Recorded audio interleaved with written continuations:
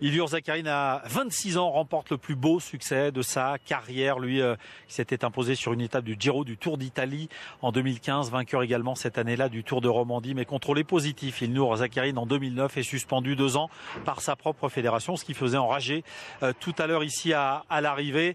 Brice Feuillu, le premier français de cette 17e euh, étape, cinquième Brice Feuillu ici en, en, haut de cette montée finale de 14 km 100 avec des passages à 13% ici sur la commune de fin haut au barrage au lac des Mossons et on s'était dit que sur ces derniers lacets, eh bien, enfin Nero Quintana allait peut-être attaquer et lâcher Christopher Froome.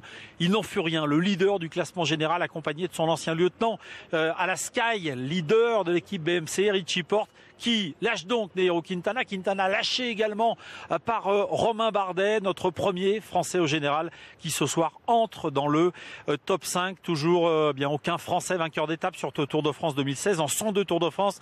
Ce n'est arrivé qu'à deux reprises en 1926 et en 1999. Il reste désormais quatre étapes, donc demain une nouvelle place à l'effort individuel en solitaire, 17 km entre Salanches et euh, Megève et au kilomètre 6 la côte de Domancy la même où le 30 août 1980, Bernard Hinault avait lâché l'Italien Baron de Kelly et était devenu champion euh, du monde.